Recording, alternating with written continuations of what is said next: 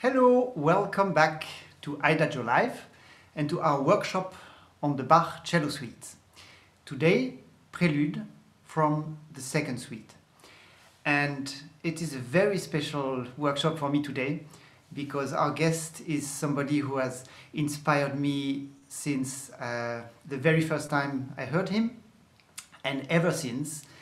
And uh, he has been one of my idols, and he is one of my idols. And uh, this is Stephen Isserlis. He will be with us in about uh, 15 to 20 minutes, but I think I will today try to cut it short and make it really 15 minutes uh, because I received a lot of messages on uh, social media that you were all very excited to see and hear him. And um, I have to confess something. Uh, uh, Stephen was just trying, um, first of all, he has proposed and agreed to bring his cello with him, so he will actually play something for us as well, some examples.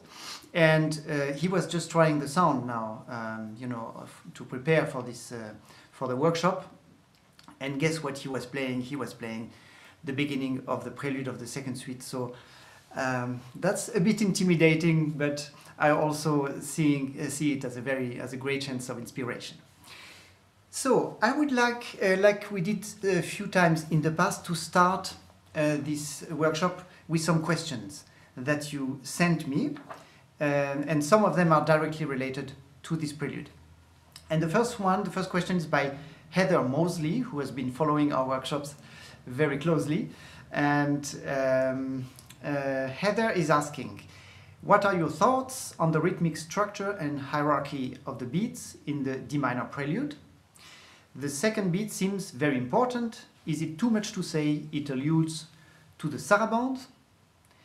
Is this common for Bach to use 3-4 beat uh, like this in movements outside of sarabandes? And I would add to this question by Heather a question by Jeffrey, who is asking how do you feel about approaching the D minor prelude by eliminating all bar lines and apply rubato all across in a melodic, linear fashion, sort of like a singer would uh, be expanding and, con con and, contracting their voice.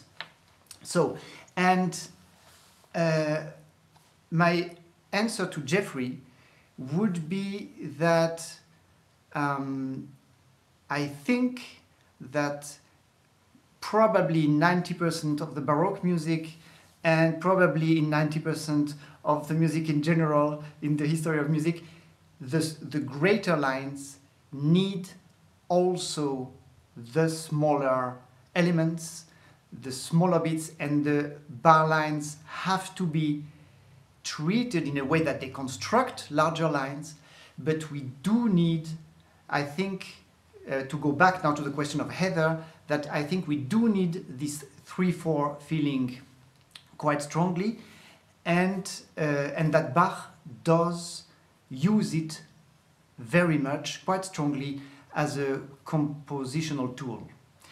Um, first, the last part of the question of Heather, uh, we have, we do have quite uh, many movements in 3-4. Of course, all the courantes uh, are in 3-4, the menuets, of course, so it's not so rare. Now, about the relationship to the sarabande feeling, the sarabande uh, rhythm. Um, we talked about it, of course, in the sarabande of the first suite. What does the sarabande have? It has this attraction between the first and the second beat. And indeed, if we look at this prelude now, the whole prelude is constructed on a quite simple uh, element of three notes, which is constructed on the first and the second beat.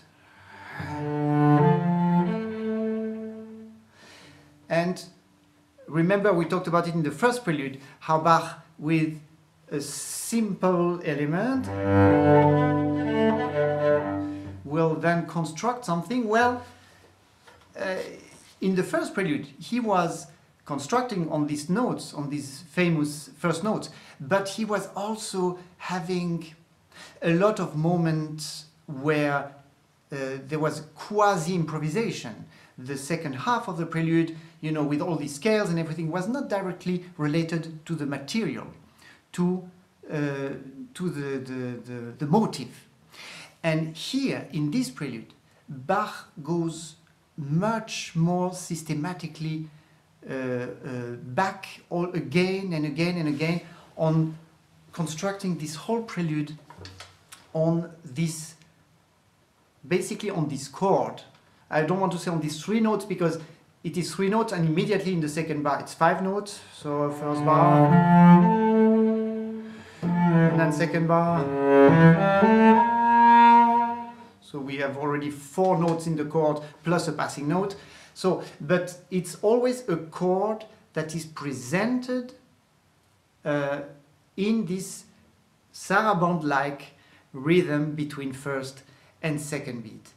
And um, again, this is going to be throughout the piece, as always, like he did also with our motive in the in the first prelude. It is sometimes the the, the basic presentation is from the bottom note again, and the next bar also. But in the fourth bar, you already have the first occurrence where the, this chord and this this this three note chord is presented from the middle note.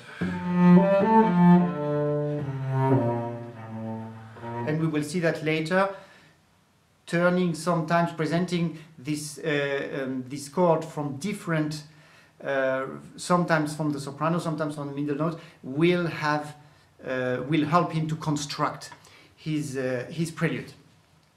Uh, what we have, you remember also that in the first prelude, uh, Bach basically was starting down there, and then he was doing his cadenzas, his scales, his thing, and then he was rising, and we finished in the sun with the, the motif uh, uh, turned around from the top, and we finished uh, right there. Well, in this second prelude, which has, of course, because of the key of D minor, a totally different feel, we will be rising, but we will be rising actually three times. And actually the, the climax, the, the point where we actually get to this high register of the cello is not going to be the last word of this prelude. It's going to be basically in the middle of it.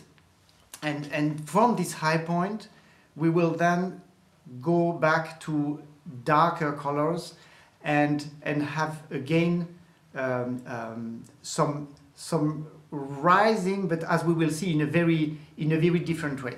So um, I will play now a little bit and giving a few examples. So we have this first rise and go back down of about, not about, of 12 bars. Presentation of the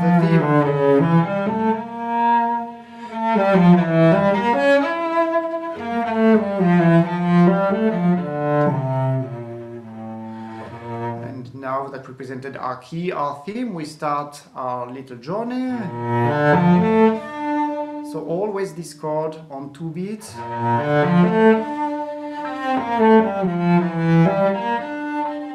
This I find so charming.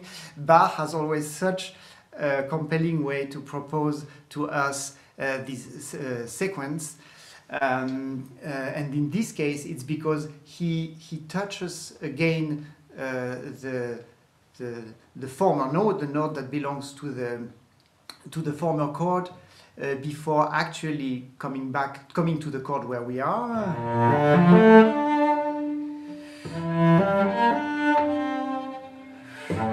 And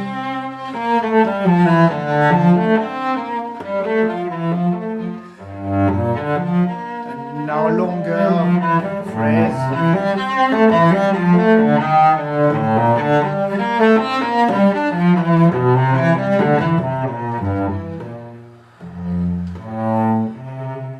And like uh, Bach likes to do, after now giving us four bars that were in one line and and uh, and rising, he calms down to the basic three notes. Now in F major,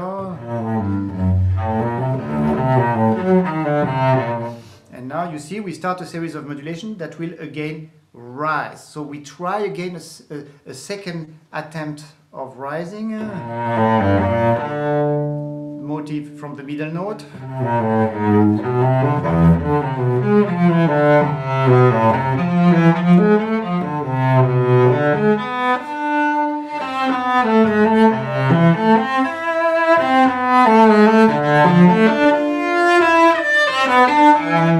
High point of this phrase and how does he bring us back down for the second time now with again this I use this I know absolutely wrong term for this music of walking bass basically the bass becomes quite active to slowly bring us uh, back down in in four bars to, to the to the lower register.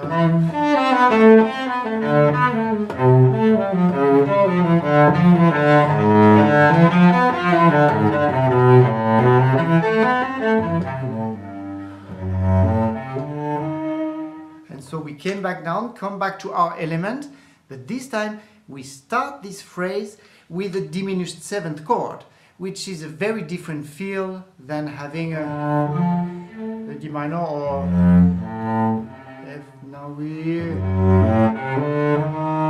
It's as though we would immediately start with a question and with that we're looking for something. So,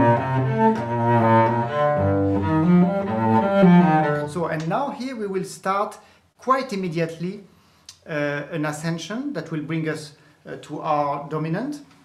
And I want to say one thing about this passage, uh, because many of my students come um, and uh, bring these bars that uh, we are going to, to, to play now uh, with a wrong accentuation.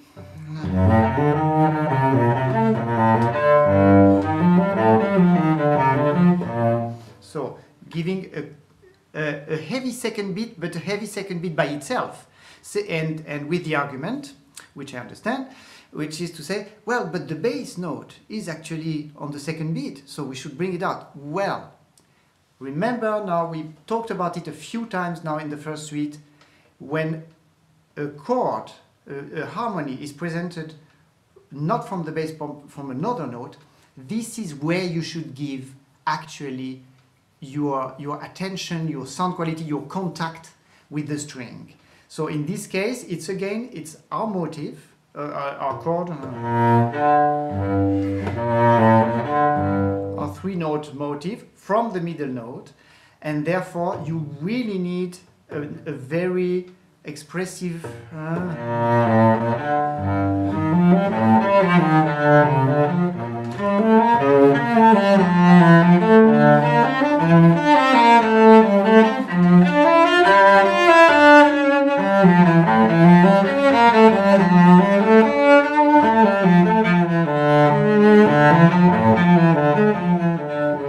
Now, this was already quite an expressive moment, and we reached our dominant. So you could think, we could think, well, that's it. That was our, our, our climax of the piece. No, we are going to go down again and rise to a much more dramatic and expressive moment. Um, so, so that,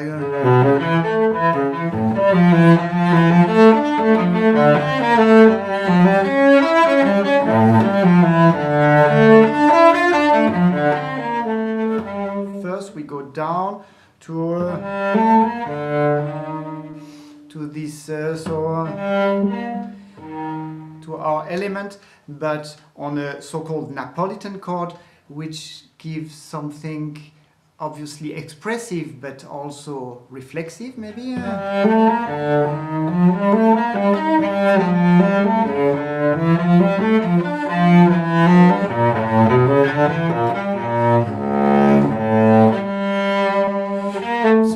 here as you see Bach went back as far down as it goes you know and he's spreading our motive, our three note motive. Now you can see the intervals are much bigger. Huh? We started there.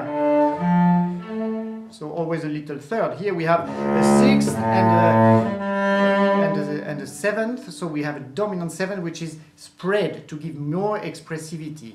And does it again.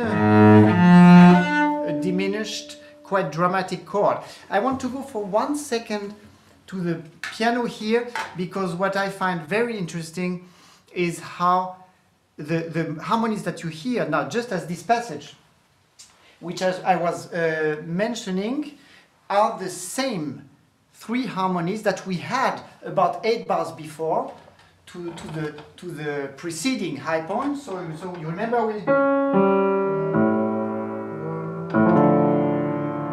then... Uh, This is these chords, and they are here again presented like if Bach. If, so it gives us a feeling of oh, we are doing again the same ascension, the same harmonies, but more spread, more to give more tension, to give more drama, and this is what prepares us.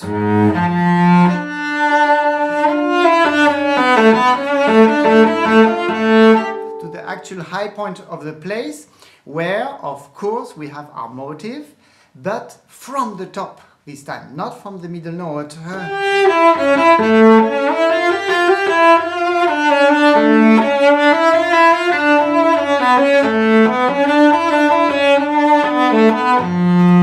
Uh, and the diminished here.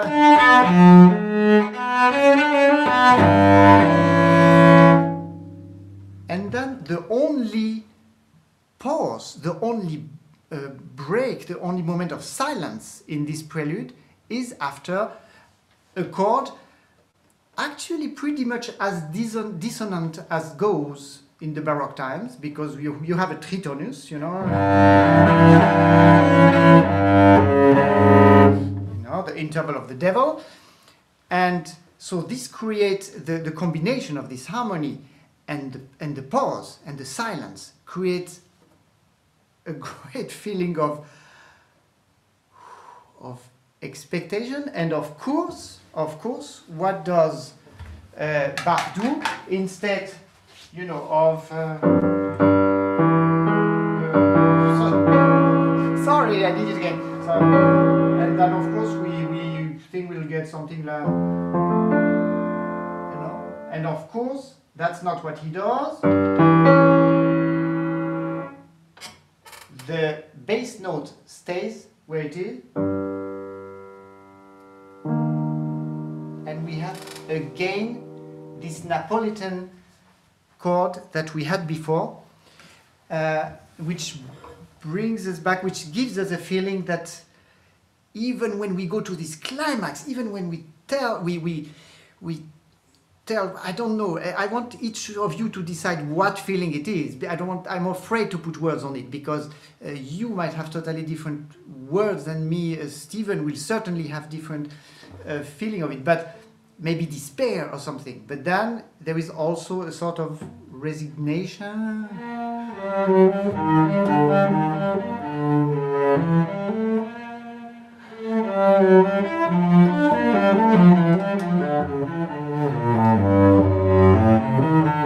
And we go down and down and down.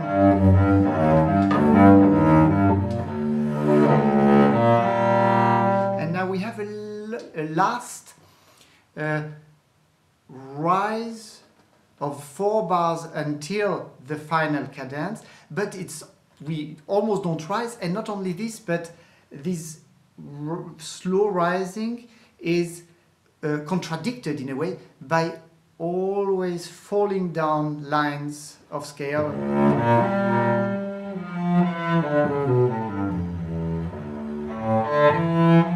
we try again our motive but we fall back. We try again. And then a last uh, chant du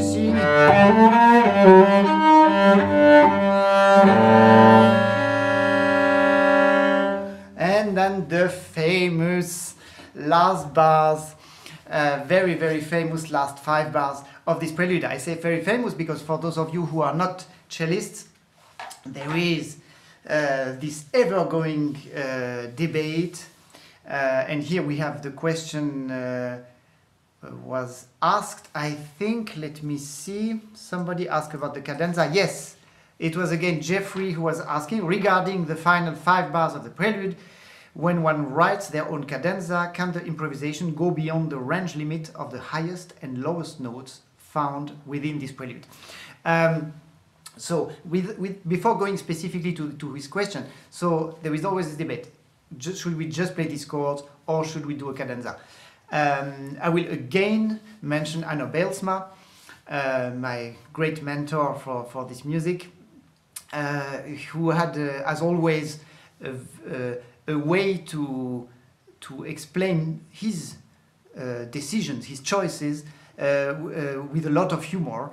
And uh, he was he was saying he was explaining he thought that at this place we should do ornamentations we should add notes we should do melodic notes uh, because probably what happened is that Bach was working and then somebody knocked on the door and he, he didn't have time to finish so he just put the chord the last chord and he rushed to the door uh, to open the door. Uh, that was a, a typical Anner Bijlsma way to justify because otherwise, everywhere in the suite, he was against ornamentation. So he had to justify himself for actually playing ornamentation at this place. And probably this place is the best transition uh, to call uh, our guest and ask him, ask you, dear Stephen, whether you play ornamentation yes or no, and and uh, and uh, if you have a yeah, what if you could tell us more about this, dear Stephen? Welcome. Hello. Hello. Hello, Stephen. yeah. Very Hello. interesting. Hang on. Oh, thank you. It was very, very intimidating for me to do this with uh, knowing that you were there but um, yeah, maybe we could start there, Stephen, because because this is an ever-going uh, question debate about this these last bars. What? How do you see that? Well, I loved Anner Bijlsma as well. We used to meet and argue for hours, and I would argue that one too. It doesn't make sense because there are two manuscripts. The Kellner manuscript and the Anna Magdalena Bach manuscript are copied from different versions, presumably both from Bach, and they both have the five chords. And so do the other later 18th century manuscripts, although they're not, we don't know where they're copied from. Um, but Bach wouldn't have had two people come at the door. I think he wants those five chords. And my hmm. feeling, but it's very individual and it may be complete rubbish, is that this, the whole of the suites are scenes from the life of Christ, and that those five chords represent the five wounds of Christ on the cross. Yeah, we had a. Uh, excuse me, Stephen, I didn't want to interrupt, but, but just because uh, uh, Heather, who has been um, uh, following this, this workshop, she had a question specifically when she heard that you were going to be here today. She said, I remember hearing Stephen Isserlis say uh, he sees the suites as two groups of three suites following something of the Christian message of birth, crucifixion, resurrection, despite these pieces being secular dances. Uh, yeah, so sorry. So basically, that's what you were, you were starting to say about the, the crucifixion. The fact that the dances doesn't make them secular. So the Biber mystery sonatas, they're all dances. That's um, mm-hmm. so mm-hmm. that's a dance. Bach mm-hmm. dances to God. Yeah. Um, so that's just my feeling. That's the only way. I used to do ornamentation, and I thought, why are those five chords there? Why does he write the five chords, which, you know, it's not like the Chaconne, where he set up a pattern and then he says, go on with the pattern. It's nothing like that. So, yeah, I think they should be chords. But, you know, it's up to everybody. I used to do ornamentation. I did write something quite nice. I can't remember what it was. Um, but, um, yeah, you can't say it's wrong, but it's very strange that it should be in both manuscripts. Oh, and by the way, in Kellner, it's not, he has an A at the base, which might have been Bach's first thought. I mean, it seems as if Kellner is copying from an earlier version of the suites than Anna Magdalena. So it's interesting that. Okay. Uh, could well have made a mistake. He makes many mistakes, so does she. Um, yeah. Yeah, but, yeah, yeah. Um, you know, it is wow. interesting that, that he doesn't have the G in the bass. Yeah, yeah, definitely. Before the B flat because I've, I've, I've often wondered um, with this G uh, uh, because Uh, How do you see it? If we play the G down there, do you think there is an, an implicit even lower A because we, we are still on our on our dominant pedal, no? Yes, I mean it's I don't know, it's still a dominant chord. Yeah. Um, and I'd completely agree with you with people who accent the second beat because the bass seems to change that. No, it changes on the first beat. He just he doesn't. You don't hear it. I mean, you hear it in your head, in fact, but he doesn't mm-hmm. sound the note. And that's I remember saying to Frans Brüggen, how how can you explain what's so miraculous about the Bach suites? And he said it's the hidden bass line.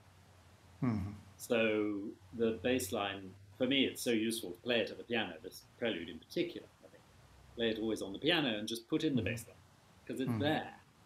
It's Yeah, not yeah, yeah. just implied. It's it's there. It's just not sounded. That's what gives us actually the drive, no? That's what shows us the way. It shows us the dynamics. It shows us the length of the phrase. It shows us everything really. The, the bass line throughout the suite.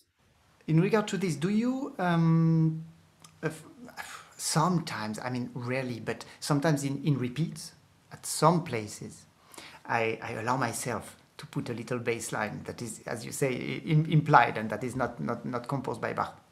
Is it something that you that, that you do sometimes, or do you find it uh, childish? No, I neither. I don't usually do it, but I don't think it's wrong. You know, and there's and there are. I mean, presumably, if you looked at the Kellner as well, I sort of alternate between the Magdalena Bach and the Kellner because that has some extra extra basses, quite a few actually, uh, Yeah. extra chords and things. So you know, it's, in that way, I think you're fairly free to do it. Obviously, Yeah, I don't yeah. perform these suites anymore because it's scaring me so much, but but I'm working on them and during this time, just for my own pleasure. Um, but yeah, no, I mean it's, the, the bass line is really, I think that's that's what we that's so useful for people who play the piano or have a piano, just to play every through mm-hmm. on the piano, putting in the mm-hmm. bass line, and that will show you the direction, will show you the dynamics. Mm-hmm. I have talking because you, you mentioned these uh, these different sources and sometimes different notes and everything. And now I would like to make a little uh, um, uh, jump to the fifth suite because there we we really have the version we, have the version by Bach, uh, the manuscript of Bach for the for the lute version, obviously, and and there of course as we know there are all these uh, uh, there is many more. Uh, baseline notes that, that, that are there. But I wanted to ask you about this thing which I still uh, I find so so so extreme in the way. So we know that when he was doing uh, harmonizing the same choral uh, three or four times, he would do three or four different harmonization. So uh, and and there is this absolutely enormous example at the with the last chord of the prelude, which is uh, for us cellists uh, a wonderful tierce Picard and finishing, you know, like in in this. In, in a glorious way, in a way, you know, like ah yes, we have, you know, we have played our little fugue, but nevertheless our fugue, and and in the in the lute version it stays in minor. So, and I find this such a. Do you think he was just playing with us, like like going once in? playing with us. I think because the lute gives such a different atmosphere, it can't have the dynamics that the cello can have. It can't end with the same, you know, amount of drama. It's going to be different. I mean, he's such a practical composer. Bach. I mean, all those chords in the sixth suite. It's not just because there are five strings. It's also because he knows that a five-string cello, the bridge will be different. It's easier to play chords because the you know, the spacing between the strings is more narrow. I mean, he's incredibly practical. There's no, I mean, you know, even the first prelude, it's the most perfect use of the cello ever. And he's very, I think it's an instrumental thing. That the just pick it on the on the lute, it might sound disappointing, whereas on the cello, it sounds dramatic. Um, yes, sorry, I had I, I got the the technical advice from Eric, uh, our technician. I greet him that I should put myself on mute when you speak because apparently I, am making some strange noises here. Um, so. so um, Stephen, well, two things. First of all, I'm thinking we, we have the chance to have you here.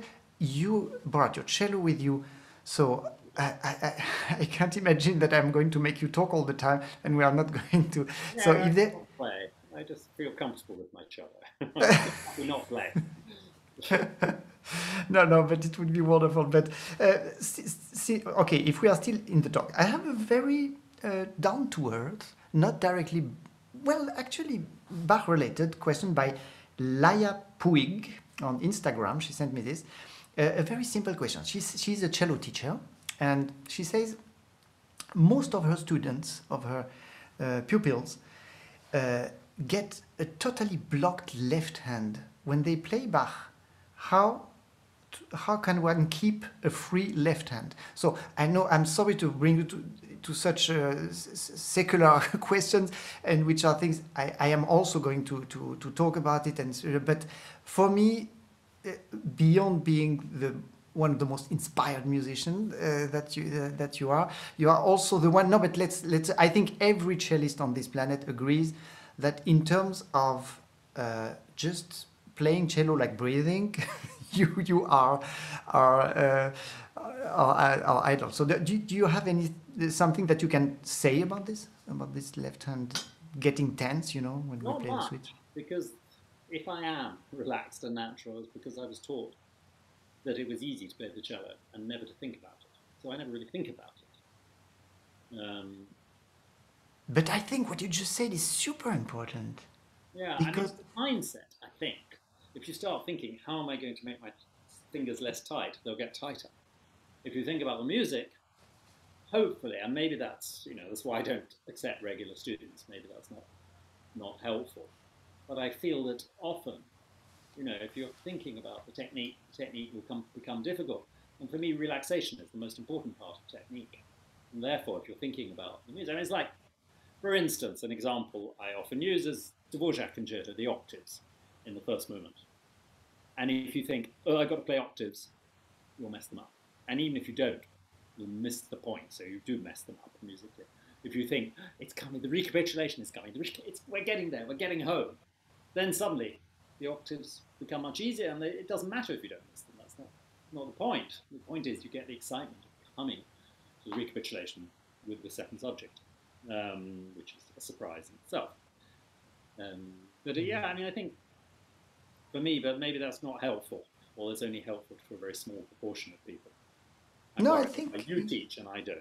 Mm-hmm. No, no, I think I think it is very helpful, and I think you started right putting the finger on it because um, more and more with my students, I, uh, I've been we have been talking about this, and I've been telling them that I think that the only actual way to to overcome problems. I mean, like like like uh, these challenges, these things, where is to actually say, oh, to look at it differently. It's not a problem. It's actually not right, and and and to to realize that to also, for example, shifts. For example, for me, shifts have not always been, you know, uh, so easy, and I still have to practice them a lot. To, to practice them a lot, but but um, to to remember that putting your hand here or here is actually it's not in a way it's not a big deal. And, and we have to learn that it's not a big deal. So i think i think uh, that's that's that's wonderful. It's going to be very helpful uh, for our viewer. Uh, the, um, one more question if i may uh, that comes um, again from heather. She was very inspired. She sent me a very long text. Um, I, sorry but just before you do that I, I agree with that. It's unusual for the second beat to be so important mm-hmm. outside of a saraband. But I don't think this is anything like a saraband. Mm-hmm. Much more sort of, you know, it's important because that's the motive. That's the um, you don't have sarabands sort of going up in quite the same way. Mm-hmm. mm-hmm. Sarabands, the first and second tend to be equal usually, and here it's rising to the second beat, which is not like a saraband. Sorry. Mm-hmm. Mm-hmm. Yes. I'm, no, I'm very happy you, you clarified that. And uh, um, uh, that's, I mean, that, that, that just doesn't sound like a. To me, it doesn't sound like a saraband. Immediately, it sounds more like an aria or meditation. Mm-hmm, mm-hmm. I mean, not that the saraband can't do a meditation, but it doesn't sound like a dance. Mm-hmm. So, at the most, one could just say that the relationship, if there is, is that is that we go from the first to the second beat, and and, and that's Yeah. it. Yeah, yeah. But mhm. I mean, it's motivic. Yeah, yeah, yeah, yeah, yeah, yeah. Um, uh, so Heather also said, I know Isserlis talked about finding it difficult to perform Bach. Well, I, I didn't know that, and uh, uh, that she she read this somewhere, and she says, "How is the solitary nature of the suites both inspiring and intimidating for you? For most of us cellists, we play Bach a lot at home and rarely in public. For me, I find it the best thing to play to find a good connection to my cello. To perform them sometimes feels very lon- lonely and uncomfortable. How do you deal with that, especially playing all six suites together? So, um, a lot of questions in there. I don't know if you want to to catch I on, mean, on what. because as I say, I just don't perform them anymore because I just get scared. I get scared of memory lapses, and um, so I thought, you know, it won't make me love the suites or enjoy them any less if I don't play them in front of people. So I just stopped playing them in front of people. But, But Stephen, it's- actually doing this. If, if, if, if I may, it's such, it's such a pity for us. And, and, and what, everybody, uh, uh, Isabelle Faust, now she plays the Bach partitas and sonatas, she plays always with the score. No, she does. She, I she, she plays always with the score. I'd rather not do it. I think maybe Yeah. I'll change my mind. I might be Wow. doing actually some private concerts just for something to do in July. Maybe I'll play a couple of Bach suites there, but it's a very small group of people. Um, Okay, so I'll tell secretly to, to our viewers to write uh, um, messages uh, on Twitter to, to Stephen to um, push him and, and into playing them again for us. I did them again. I did. I said I wouldn't do it again. Then John Gilhooly at the Wigmore persuaded me to do it one more time, and so I did it. Oh, such suffering for me. I was just so nervous. I felt like you know, going on. The thing is, I did it in two evenings, which I think you did too, right? In two evenings, and I felt, you know, it was like going on to the scaffold to be, or to the guillotine to be executed, except I had to do it twice. two evenings. So. You know, when when uh, when I do them in two evenings, what I find difficult is the beginning of the second evening to come back because the journey has been a bit, I don't know. Uh, I, I I agree. be- the- yeah, because there is something no about about these six weeks that take you on this journey, and then suddenly, okay, pause. Uh, you go sleep. You go. You have breakfast. You you you go shopping, uh, and then you come back to the dress rehearsal, and then you start in the story in the middle. I find this uh, quite quite challenging. I must say. Yeah, I mean, I think the order is, is a slight problem because ideally you do one, two, three, four, five, six, but you can't do four, five, and six in one concert. Apart from that, I would never start with the fourth suite. But, um, but then one concert's much too short, one's much too long. So I used to do what did I do? one, five, four, two. No, that can't be right. Maybe I can't remember that. Um, but I think probably. Anyway, I remember starting the second one too.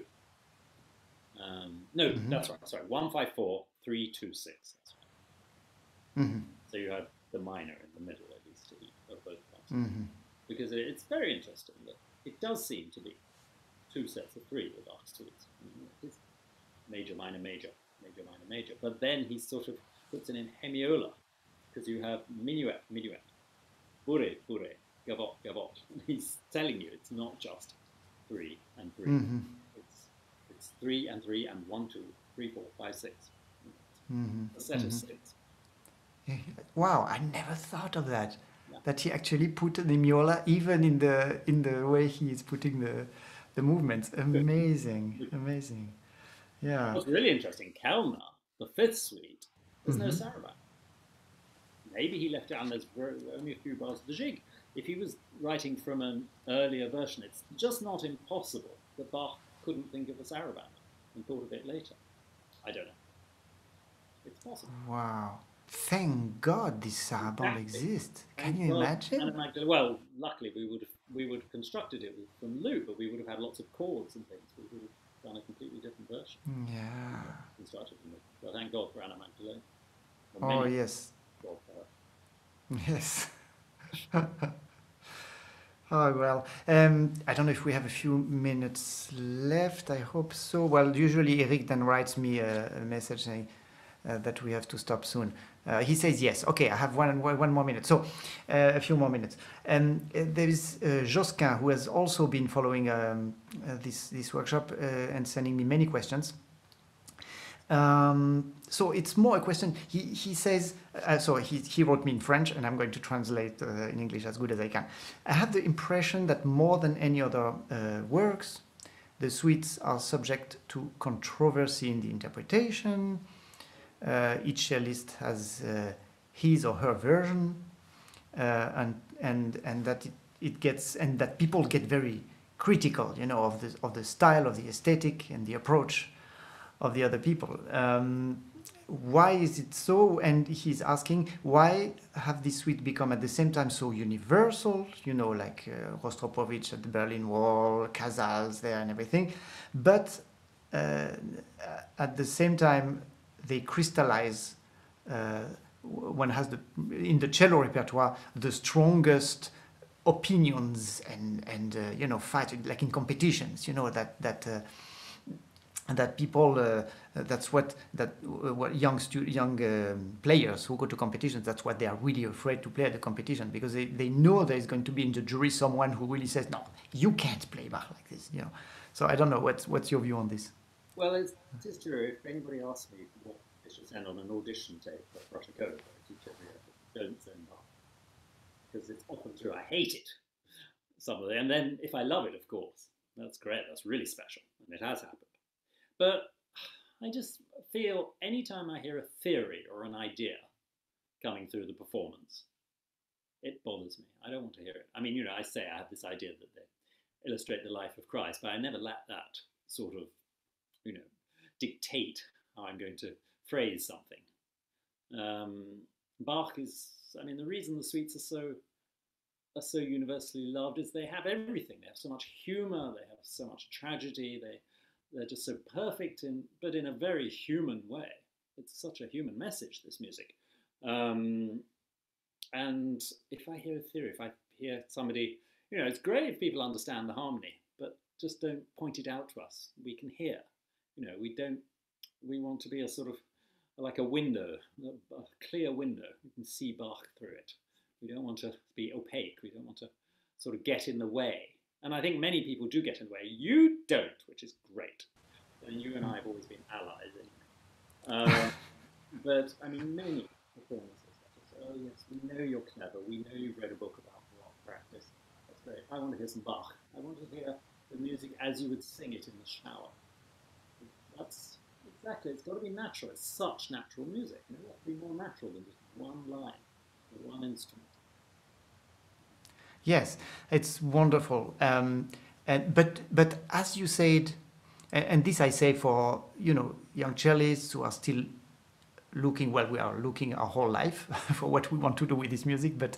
Um, uh, but for young cellists who are, you know, still looking for what their Bach could be, as you mentioned before, to get to this simplicity and to not be finger pointing in interpretation.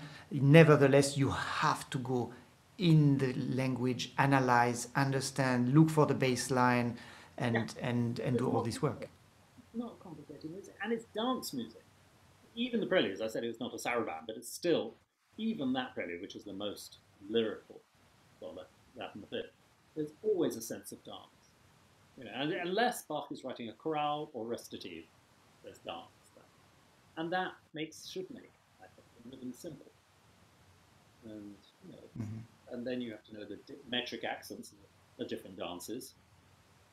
And of course, they'll each have. You know, that's what makes even the sixth allemande an allemande because it has that one, two, three, four, one, which all the allemandes have, and, you know, whatever. And the saraband a bit. Second beat, but not stronger than the first beat. First beat is always, and that second question you say, know, always have to know where the bar line is. It's always very important. You can go against it, you know where it is. You have to feel, without pointing, feel that that's where the, the dancer leaves the floor and back very, very often. First beat. Um, and but it, it is simple music. As I say, what could be simpler than one instrument?